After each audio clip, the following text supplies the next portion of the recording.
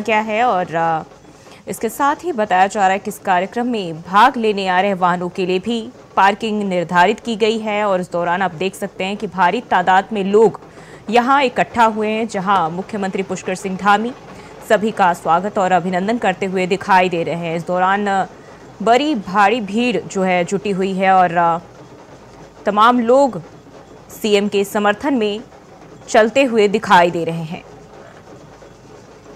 तो देहरादून से ये लाइव तस्वीरें आपके साथ साझा कर रहे हैं और सीएम धामी का रोड शो किया जा रहा है और इस दौरान जो है, सुरक्षा को लेकर पुलिस फोर्स की भी तैनाती है जहाँ भीड़ पर काबू पाया जा सके और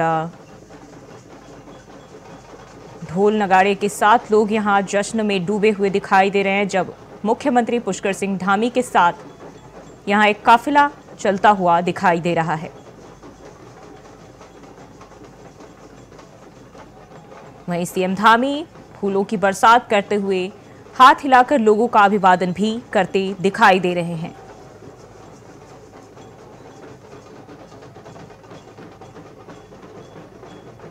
तो नारी शक्ति महोत्सव कार्यक्रम का आयोजन किया जाना है और इसके पहले मुख्यमंत्री पुष्कर सिंह धामी का ये रोड शो आपके साथ लाइव साझा कर रहे हैं, जहाँ आप देख सकते हैं। कि सीएम के साथ साथ कितनी भीड़ इकट्ठा है, जहाँ सभी लोग मुख्यमंत्री के साथ चलते हुए दिखाई दे रहे हैं और सीएम धामी सभी के ऊपर फूल बरसाते हुए नज़र आ रहे हैं।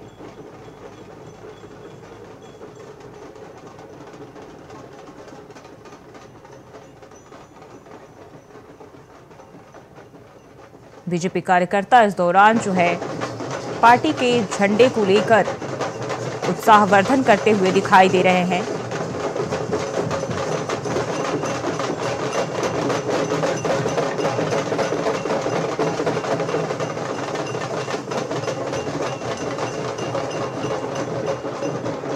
देहरादून से ये लाइव तस्वीरें आप देख पा रहे हैं, जहाँ मुख्यमंत्री पुष्कर सिंह धामी का रोड शो आयोजित किया जा रहा है और नारी शक्ति महोत्सव कार्यक्रम का आयोजन किया जाना है और इसके पहले सीएम धामी का ये रोड शो आयोजित किया गया है।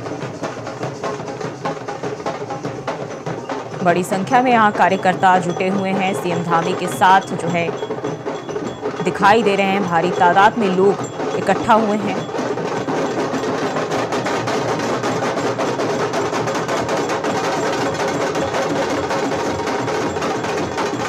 और इसी खबर पर ज़्यादा जानकारी के साथ तुषार गुप्ता हमारे साथ जुड़ गए हैं। तुषार, सीएम धामी का रोड शो आयोजित किया जा रहा है। क्या माहौल देखने को मिल रहा है वहाँ? बिल्कुल जिस तरह से प्रदेश भर में नारी शक्ति सम्मेलन के साथ साथ नारी शक्ति महोत्सव मनाया जा रहा है और आज देहरादून में एक भव्य रोड शो रखा गया है और उसके बाद नारी शक्ति बंधन कार्यक्रम यहाँ पर चलाया जाएगा। और आप देख सकते हैं कि हज़ारों की संख्या में जो नारी हैं महिलाएँ हैं और साथ साथ जो आ, जो स्टूडेंट्स हैं वो यहाँ पर पहुँचे हैं और कुछ ही देर में मुख्यमंत्री यहाँ पर पहुँचने वाले हैं। आप देख सकते हैं कि सामने की तरफ़ से एक पूरी गाड़ी आ रही होगी उसमें खुद मुख्यमंत्री पुष्कर सिंह धामी मौजूद है। साथ में कई विधायक और संसद उनके साथ मौजूद है। तो तमाम यहाँ पर तैयारियाँ पूरी कर रखी है और यहाँ पर जो महिलाएँ कहा जा सकता है कि सड़कों पर उतरी है, मुख्यमंत्री पुष्कर सिंह धामी के स्वागत के लिए, वो यहाँ पर भव्य और कहा जा सकता है कि एक दृश्य है लुभाने वाला। और इसके तहत अभी कुछ ही दिनों में माना जा रहा है कि आचार संहिता लगने वाली है, उससे पहले लोकसभा चुनाव उसके बाद लोकसभा चुनाव होने वाले हैं। और ये कहा जा सकता है कि जो ये रोड शो हो रहा है है कहीं ना कहीं भाजपा की ताकत यहाँ पर दिखा रहे हैं और जिस तरह से यहाँ पर माहौल साफ़ तौर पर लोगों को जो लोग पहुँचे हैं कहीं ना कहीं हज़ारों की संख्या में कहीं ना कहीं ये दिखाता है कि आने वाले चुनावों में भाजपा कितनी यहाँ पर स्ट्रांग है। कुछ महिलाओं से हम बात करने की यहाँ पर कोशिश करेंगे। आप, आप यहाँ पर आइए क्या वजह है उसकी? जी पुष्कर सिंह जी आए हैं उनके वेलकम के लिए पहुँचे हुए हैं यहाँ पर हम लोग। स्वागत के लिए आए हैं हाँ जी हाँ जी बिल्कुल। हम हरिपुर कला से आए हैं मोतीचूर से। क्या नाम है आपका? मेरा नाम नीता है हम हरिपुर कला से आए हैं। हम अतिथियों का स्वागत के लिए आए हैं। मुख्यमंत्री पुष्कर सिंह धामी का हाँ जी। कैसे करते हैं वो महिला सशक्तिकरण के लिए? किस तरह की सरकार लगती है आपको? बहुत अच्छी सरकार है क्यों नहीं? है महिलाओं के लिए हर तरह का सपोर्ट दे रखा है उन्होंने हर तरह का बढ़ाने का प्रयास दे रखा है रोज़गार दे रखा है। महिला इस टाइम पे आगे बढ़े ये उन लोगों का यही विचार है अच्छी चीज़ दे रखी है और देखिए, बिल्कुल आप बताइए। हाँ नमस्कार, मेरा नाम पूजा वाड़ी, मैं हरिपुर कला से हूँ। और, मोदी जी और धामी जी हमारा बहुत अच्छा काम कर रहे हैं महिलाओं के लिए, आगे बढ़ाने के लिए। देखिए बिल्कुल जिस तरह से महिलाएँ यहाँ पर सड़कों पर आई हैं और कहीं ना कहीं जो मुख्यमंत्री पुष्कर सिंह धामी का जो स्वागत है वो यहाँ पर किया जा रहा है। तमाम पुलिस फोर्स भी यहाँ पर लगाई है। सैकड़ों की संख्या में पुलिस बल भी यहाँ पर तैनात है कि अगर कुछ भी गड़बड़ी होती है तो उसके लिए तैनाती यहाँ पर की गई है और उसके लिए घुड़सवार दल भी यहाँ पर तैयार है। तमाम कहा जा सकता है कि पूरी तरह से यहाँ पर तैयार है खुद ही कुछ ही देर में मुख्यमंत्री पुष्कर सिंह धामी की गाड़ी यहाँ पर पहुंचेगी बन्नू ग्राउंड में और यहाँ से आ, नारी शक्ति बंधन कार्यक्रम है, वो आयोजित होगा, जिसमें कई विधायक और संसद मौजूद होंगे। कुछ ही देर में गाड़ी पहुँचने वाली है। फ़िलहाल जो लोग हैं, उनके स्वागत के लिए यहाँ पर खड़े हुए हैं। जी। जी, तुषार, अगर बात करें सुरक्षा व्यवस्था की, किस तरीके से तैयारी की गई? क्योंकि यहाँ लोग जो है, बहुत ज़्यादा इकट्ठा हुए हैं। भीड़ भारी जो है, काफ़ी ज़्यादा देखने को मिल रही है। देखिए यहाँ पर सैकड़ों की संख्या में जो पुलिस फोर्स है, वो लगाई गई है। चप्पे चप्पे पर जो पुलिस है, वो यहाँ पर निगरानी रख रही है सीसीटीवी और साथ साथ जो ड्रोन की मदद से यहाँ पर क्योंकि हज़ारों की संख्या में भीड़ आई है, ऐसे में लोगों को नियंत्रण करना है। साथ साथ ट्रैफ़िक व्यवस्था भी यहाँ पर नियंत्रण की गई है। जो डाइवर्जन है, वो जगह जगह पर किए गए हैं। आप देख सकते हैं कि घुड़सवार पुलिस भी यहाँ पर मौजूद है। मुख्यमंत्री पुष्कर सिंह धामी के जो स्वागत है जो बड़े आला अधिकारी हैं यहाँ पर मौजूद है। क्योंकि स्थिति को संभालने के लिए, सब तरह की स्थिति को संभालने के लिए यहाँ पर पुलिस प्रशासन तैयार है। साथ साथ जो पुलिस प्रशासन का जो बैंड है, वो भी यहाँ पर है। जो महिला विंग है, वहाँ जो कुछ साल पहले यहाँ पर पुलिस फोर्स पर ज्वाइन हुआ है। ऐसे में पुलिस विभाग से लेकर जो महिलाएँ हैं, जो स्वयं सहायता महिला समूह की महिलाएँ हैं, या फिर आंगनवाड़ी महिलाएँ या फिर जो आम जन मानस महिलाएँ हैं, वो यहाँ पर पहुँची है। भारी की संख्या में हज़ारों की संख्या में मैं बोलूँ, दस हज़ार से अधिक महिलाएँ यहाँ पर मौजूद है। त्यागी रोड से लेकर ये बन्नू ग्राउंड तक पूरा कार्यक्रम, रोड शो यहाँ पर आयोजित किया गया है। और इसमें करीब माना जा रहा है कि चौदह से पंद्रह हज़ार महिलाएँ यहाँ पर है। तो उत्साह यहाँ पर साफ़ तौर पर नज़र आ रहा है। कुछ ही देर में यहाँ पर मुख्यमंत्री पुष्कर सिंह धामी की जो गाड़ी है, जिसमें वो खुद विराजमान है, वो यहाँ पर पहुंचेगी। और इसके बाद जो स्वागत है, वो यहाँ पर किया जाएगा। तो कहीं ना कहीं जो कहा जा सकता है, जो खुशी है, माहौल या फिर कहा जा सकता है कि जिस तरह से मुख्यमंत्री के अभिनंदन के लिए यहाँ पर महिलाएँ खड़े हुए हैं, जिस तरह से मुख्यमंत्री पुष्कर सिंह धामी की सरकार में महिलाओं को सौगात मिली है। तीस प्रतिशत जो महिला आरक्षण मिला है साथ साथ जो स्वयं सहायता समूह को बढ़ावा दिया गया है साथ साथ जो उत्पाद है उत्तराखंड के, उनको बढ़ावा देने की कोशिश की गई है। साथ साथ महिलाओं के लिए यूसीसी लाया गया है ताकि जो महिलाएँ हैं, उनको भी समान कानून मिल सके। तो तमाम जो लाभकारी योजनाएँ हैं नारियों के लिए वो उसके तहत जो महिलाएँ हैं, आम जनमानस है, वो आज सड़कों पर उतरा है। रोड शो है देहरादून में राजधानी है, लोकसभा चुनाव इसके बाद होने वाले हैं। तो ऐसे में शक्ति प्रदर्शन के साथ साथ जो स्वागत है महिलाओं का, उससे कहीं ना कहीं ऐसा लगता है कि आने वाले चुनावों में भाजपा को प्रचंड जीत तो ज़रूर मिलेगी, लेकिन महिलाओं को जो साथ है, वो भी यहाँ पर मिलता हुआ साफ़ तौर पर नज़र आता हुआ दिखाई दे रहा है। जी। जी, तुषार, बिल्कुल महिलाओं को प्रोत्साहन करने के लिए सरकार तमाम तरह की योजनाएँ चला रही है। लेकिन आज की बात कर ले तो आज महिलाओं के लिए क्या खास होगा, क्या संदेश देंगे मुख्यमंत्री? देखिए, जिस तरह से सरकार लगातार कार्य कर रही है, लगातार लाभकारी योजनाएँ नारियों के लिए ला रही है, उसके तहत आज मुख्यमंत्री की स्पीच, रहने वाली प्रदेश भर में ये कार्यक्रम चल रहे हैं, जिसमें नारी शक्ति सम्मेलन किया जा रहा है, कि केंद्र की तरफ़ से भी लोगों की जो लाभकारी योजनाएँ हैं जिस तरह से चलाई जा रही है, राज्य की स्तर पर वो जन जन तक पहुँचे, इसके तहत भी है। और मुख्यमंत्री पुष्कर सिंह धामी, अगर मैं दिखाना चाहूँगा तो यहाँ पर उनका जो गाड़ी है, वो पहुँच चुकी है, कुछ यहाँ पर आपको दिखाई दे रही होगी कि मुख्यमंत्री पुष्कर सिंह धामी खुद जो गाड़ी है उसमें विराजमान होते हुए नज़र आए। भव्य स्वागत यहाँ पर उनके द्वारा किया किया गया है। तो कहीं ना कहीं उत्साह यहाँ पर नज़र आ रहा है लोगों के आ, लोगों के बीच। जी तुषार बहुत बहुत शुक्रिया आपका तमाम जानकारी के लिए। तो नारी शक्ति महोत्सव कार्यक्रम का आयोजन किया जा रहा है और देहरादून में इस कार्यक्रम का आयोजन किया जा रहा है जिसके पहले मुख्यमंत्री पुष्कर सिंह धामी रोड शो करते हुए दिखाई दे रहे हैं।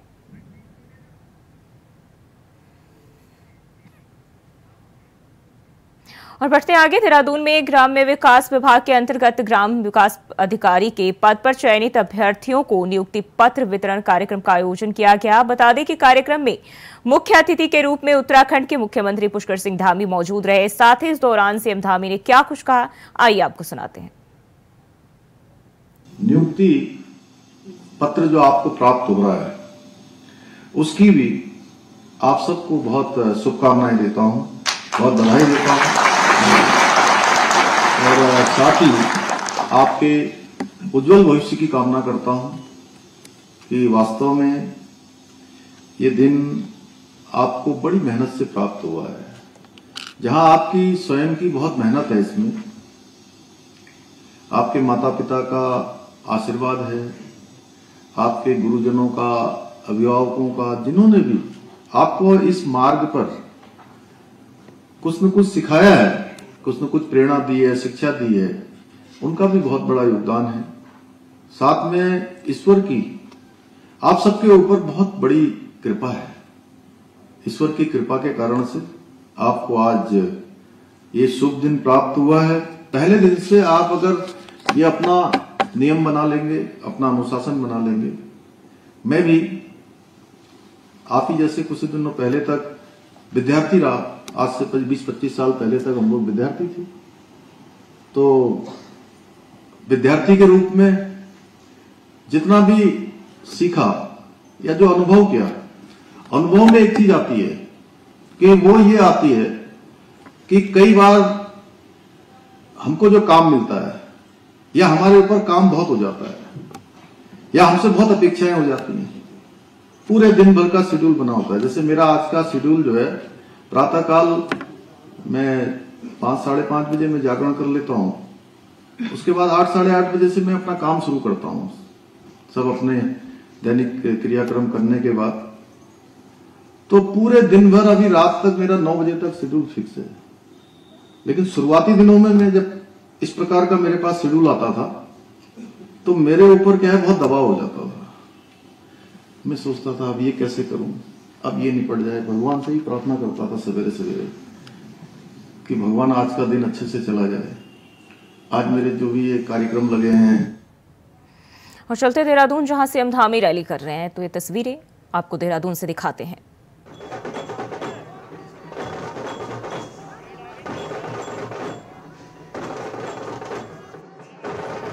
तो यहाँ कार्यक्रम से पहले सीएम धामी का ये बड़ा रैली देखने को मिल रहा है अभी। थोड़ी देर पहले हमारे संवाददाता तुषार गुप्ता ने आपके साथ ये सभी तस्वीरें साझा की थी और एक बार फिर से आप ये देख पा रहे हैं अपने टीवी स्क्रीन पर, जहाँ मुख्यमंत्री हाथ हिलाकर लोगों का अभिवादन करते हुए दिखाई दे रहे हैं। बड़ी भारी तादाद में यहाँ भीड़ इकट्ठा है और मुख्यमंत्री का काफिला यहाँ चलते हुए दिखाई दे रहा है। प्रशासन के बैंड के साथ मुख्यमंत्री आगे बढ़ते हुए दिखाई दे रहे हैं। देहरादून से ये लाइव तस्वीरें आपके साथ साझा कर रहे हैं।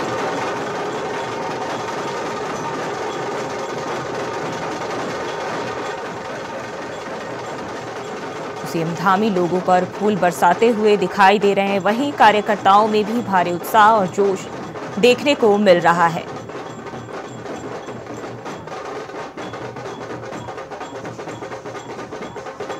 न केवल कार्यकर्ता, बल्कि बड़ी तादाद में जो है महिलाएँ भी यहाँ इकट्ठा हुई हैं और सीएम धामी के समर्थन में यहाँ मौजूद हैं।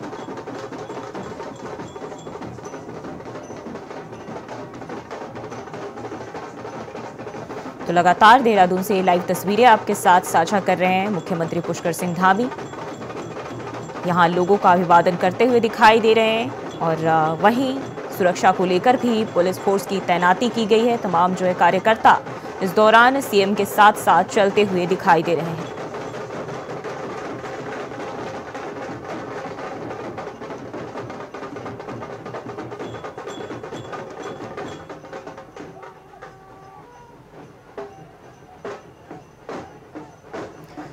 नारी शक्ति महोत्सव कार्यक्रम का आयोजन किया जाना है और इसके पहले मुख्यमंत्री पुष्कर सिंह धामी रोड शो कर रहे हैं, रैली निकाल रहे हैं, जहाँ उनके साथ बड़ी संख्या में लोग दिखाई दे रहे हैं।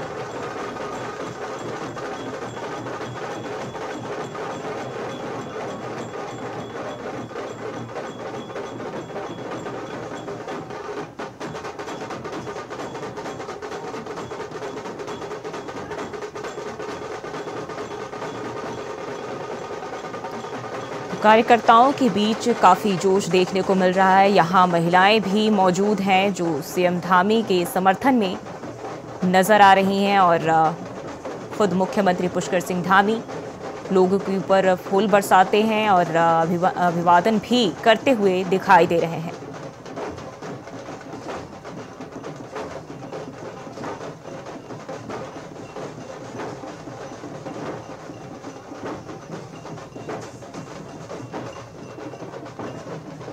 देहरादून से ये लाइव तस्वीरें आप देख पा रहे हैं।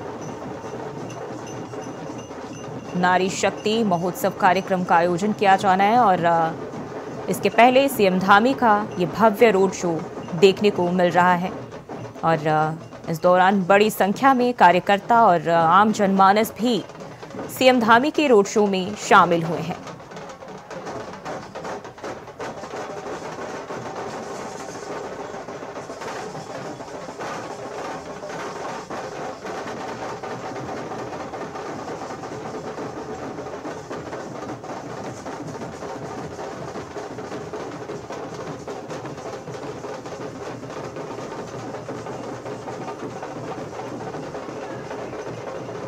तो ये लाइव तस्वीरें आप देहरादून से देख पा रहे हैं, जहाँ बड़ी संख्या में मुख्यमंत्री पुष्कर सिंह धामी की रैली में लोग इकट्ठा हुए कार्यकर्ता ही नहीं, बल्कि आम जनमानस और महिलाएँ भी इसमें शामिल हुई हैं।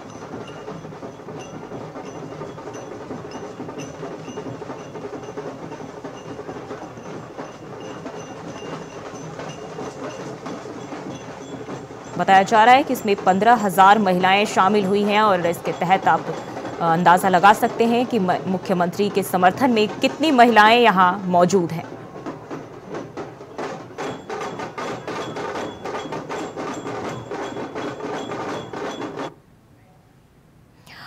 और उत्तराखंड कांग्रेस में प्रत्याशियों के चयन की प्रक्रिया जारी है और अभी भी पार्टी की स्क्रीनिंग कमेटी से चयनित किए गए प्रत्याशियों के नाम भेजे नहीं गए हैं। साथ ही दिल्ली में कल हुई बैठक के बाद अभी कुछ और बैठक होनी बाकी है और उसके बाद ही कांग्रेस प्रत्याशियों के नाम को फाइनल कर पाएगी। जबकि दूसरी तरफ़ सत्ताधारी दल भाजपा पाँच में से तीन सीटों पर प्रत्याशियों के नाम का ऐलान कर चुकी है। बहुत जल्द ही बाकी बची दो सीट पर भी नाम घोषित हो जाएँगे। लोकसभा चुनाव के लिए प्रत्याशियों के चयन की प्रक्रिया कांग्रेस पार्टी में अब भी जारी है। दिल्ली में जो स्क्रीनिंग कमेटी की बैठक हुई थी, उसमें अंतिम निर्णय नहीं हो पाया। सिर्फ़ इतना हो पाया कि जो अभी तक 40 से ऊपर जो नाम पार्टी के पास आए थे दावेदारों के, उसमें कुछ छंटनी ज़रूर हो पाई है। अब सिर्फ़ पंद्रह नाम यहाँ पर बचे हैं उन पंद्रह नामों में भी पार्टी की एक और स्क्रीनिंग कमेटी की बैठक यहाँ पर होगी और उन सब नामों को और सीमित करने का काम किया जाएगा, जो जिताव होंगे, सिर्फ़ उन्हें ही मौका देने का काम यहाँ पर किया जाएगा। चयन प्रक्रिया में सीधे तौर पर कह सकते हैं कि स्क्रीन कमेटी की एक और बैठक के बाद उन नामों को जो चयन नाम, जिन दावेदारों का चयन यहाँ पर किया जाएगा, उनको सी डब्ल्यू सी की लिए भेजा जाएगा। सी डब्ल्यू सी की बैठक में उन पर फाइनल मोहर यहाँ पर लग पाएगी। तो ये कहा जा सकता है कि कांग्रेस पार्टी चुनाव लड़ने की बात तो कर रही है, लेकिन अभी तक जो पार्टी की जो चुनावी तैयारी है वो काफ़ी धीमी रफ्तार से यहाँ पर चल रही है।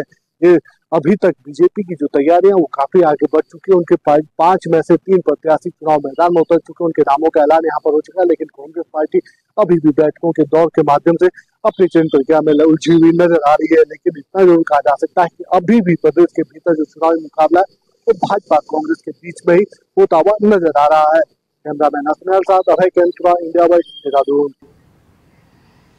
और नगर निगम के कर्मचारी बीजेपी विधायक की गिरफ्तारी को लेकर धरना दे रहे हैं, लेकिन फ़िलहाल कोई समाधान इसको लेकर नहीं निकल रहा है। बता दें कि चालक संघ की तहरीर पर महेश जीना पर मुकदमा दर्ज कर दिया गया है, जिसके बाद विधायक की मुश्किलें बढ़ती हुई नज़र आ रही है। विधायक द्वारा नगर निगम के कर्मचारी और नगर आयुक्त पर अभद्रता करना भारी पड़ता हुआ नज़र आ रहा है। लगातार मंगलवार से ही जो प्रदर्शन है, कर्मचारियों का वो देखने को मिला है। और अब जो चालक संघ है, उसने मुकदमा दर्ज करा दिया है। भाजपा के सल्ट से विधायक महेश जिना के ऊपर। और यहाँ पर आप देख सकते हैं कि गौरव कुमार जो आई है, नगर आयुक्त है, उनके कैबिन में जो कर्मचारी हैं, वो घुस चुके हैं। पूर्ण रूप से आज भी कार्य बहिष्कार किया गया है। अनिश्चितकाल के लिए कार्य बहिष्कार की मांग की गई थी। और साथ साथ ये मांग की गई है कि जल्द से जल्द जो विधायक है सल्ट के उन की गिरफ्तारी हो, उन पर कार्रवाई हो। इसके तहत यहाँ पर भारी पुलिस फोर्स भी लगाया गया है। वहीं देहरादून शहर की मैं बात करूँ तो कूड़ा नहीं उठाया गया है, जिसके कारण पूरा शहर कूड़े में दिखाई दे रहा है। लेकिन फ़िलहाल स्थिति को संभालने के लिए मुख्यमंत्री पुष्कर सिंह धामी ने भी संज्ञान लिया था, जिसके बाद गढ़वाल आयुक्त विनय शंकर पांडे को पंद्रह दिन के अंदर अपनी रिपोर्ट सौंपने की बात कही गई थी और इसके बाद अब मुकदमा दर्ज हो गया है। लगातार प्रशासन अपने तौर पर समन्वय बनाए हुए नज़र आता हुआ नज़र आ रहा है कि नगर आयुक्त और साथ साथ जो विधायक के बीच में हुई, उसमें कोई कॉम्प्रोमाइज़ यहाँ पर हो जाए। लेकिन फ़िलहाल जो कर्मचारियों का क्रोध यहाँ पर देखने को मिल रहा है, वो कहीं ना कहीं आने वाले समय के लिए, देहरादून के लिए मुश्किलें खड़ी कर सकता है। आम जनमानस के लिए यहाँ पर खड़े सकता है फ़िलहाल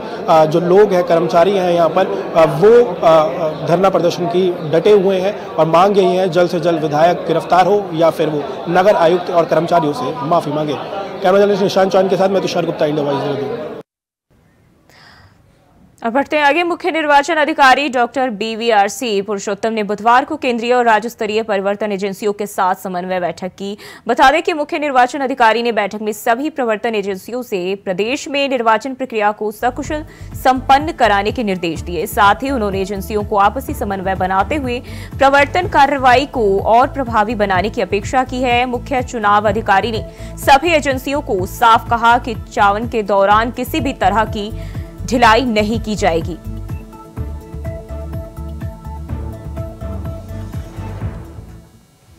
तो केंद्रीय और राज्य स्तरीय बैठक की गई और मुख्य निर्वाचन अधिकारी ने बैठक की है, जिसमें उन्होंने सभी अधिकारियों को ज़रूरी दिशा निर्देश भी दिए।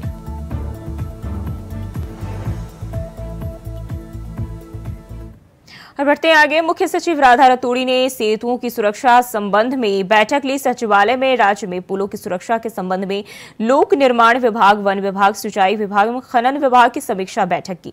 राज्य में पुलों की सुरक्षा के मुद्दे को गंभीरता से लेते हुए मुख्य सचिव ने लोक निर्माण विभाग को खनन, वन एवं सिंचाई विभाग के लिए स्पष्ट एसओपी और गाइडलाइंस बनाने और लागू करवाने के निर्देश दिए। राधा रतूड़ी ने पुलों के निर्माण और मेंटेनेंस में सुरक्षा मानकों का कड़ाई से पालन करने और निर्माण कार्यों की लगातार मॉनिटरिंग के सख्त निर्देश दिए हैं।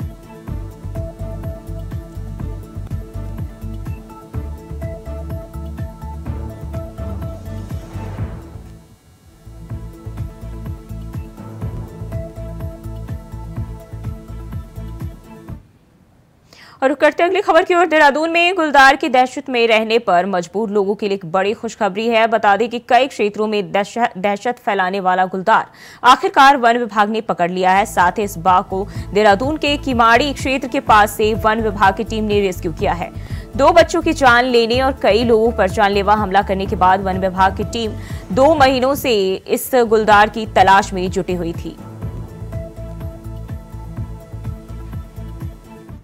सरली के आसपास क्षेत्रों में हमारे द्वारा विगत दो माह से बाघों को ट्रैक किया जा रहा था, इस क्षेत्र में जो एक्टिव हैं। और कैमरा ट्रैप्स के माध्यम से उनकी मॉनिटरिंग की जा रही थी। उनके आने जाने के जो रास्ते हैं, उसको फॉलो किया जा रहा था। तो आज सुबह हमारी टीम को कामयाबी मिली है और विगत, दो माह के अंतर्गत, इस बाघ के द्वारा जो दो घटनाएँ इस क्षेत्र में की गई हैं। पहली घटना 26 दिसंबर को की गई थी, सिंगली के पास। दूसरी घटना गलजवाड़ी के पास अभी कुछ दिनों पहले इसके द्वारा की गई थी। तो मुझे खुशी है कि जो हमारा दो महीने का रेस्क्यू ऑपरेशन था, आज वो समाप्त हुआ है और जो एनिमल था उसको सही तरीके से आइडेंटिफाई करके आज उसको कैप्चर कर लिया। और देवभूमि समाचार में फ़िलहाल के लिए बस इतना ही। खबरों के लिए बने रहे इंडिया वॉइस के साथ।